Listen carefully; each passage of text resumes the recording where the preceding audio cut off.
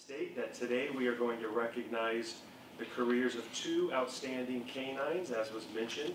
It's going to be HRD Canine Veya and Accelerant Detection Canine Blue.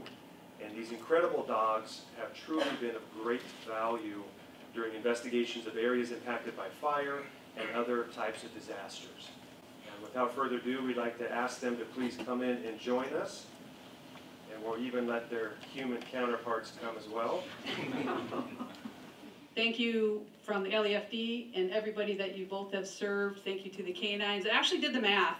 So I need to make sure as we talk about nine years of service, they actually have 63 years of service times seven, which I think she's got all of us beat, as well as Blue, 49 years of service. That's outstanding. So thank you so much for everybody uh, to be here to celebrate the hard work and dedication of the handlers and our uh, exceptional canines. We wish you the best of luck. And again, thank you everybody for your, your service and dedication.